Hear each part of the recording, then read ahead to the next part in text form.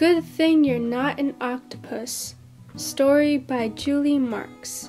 Pictures by Maggie Smith.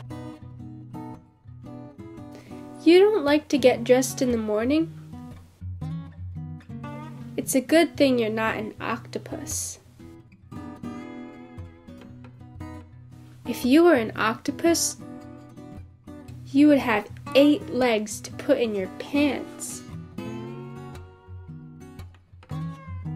You don't like to put on your shoes? It's a good thing you're not a caterpillar. If you were a caterpillar, you would have 16 feet to put shoes on. You don't like to ride in your car seat? It's a good thing you're not a kangaroo.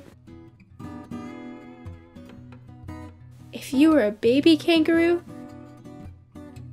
you'd have to ride in your mother's pouch. You don't like to eat your lunch? It's a good thing you're not a bird. If you were a bird, you would have to eat worms for lunch. You don't like to take a nap? It's a good thing you're not a bear. If you were a bear, you would have to take a nap all winter long. You don't like to take a bath? It's a good thing you're not a tiger.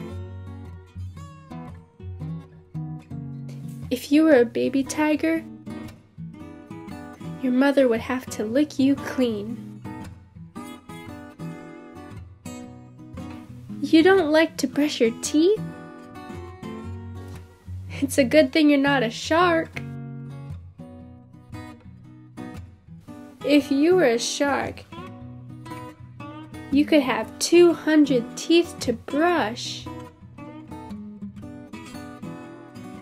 So, the next time you need to get dressed, go for a ride, eat your lunch, take a nap, take a bath, or brush your teeth, remember, it's a good thing you're you. Phew! The end.